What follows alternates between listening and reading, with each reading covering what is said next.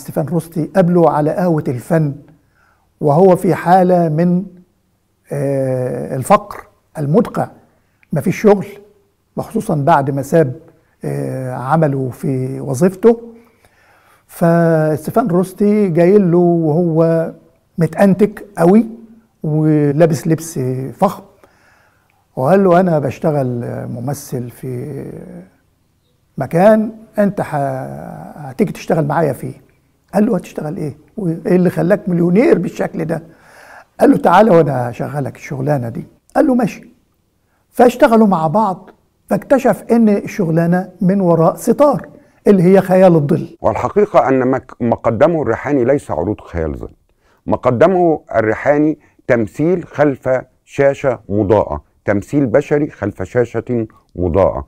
يعني آه، يبان خياله كبني آدم.